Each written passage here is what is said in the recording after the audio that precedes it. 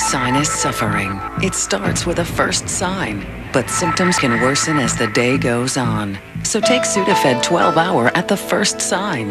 Non drowsy Sudafed 12 Hour releases sinus pressure and keeps it from coming back for up to a full 12 hours. Now, the first sign of pressure is my last all day.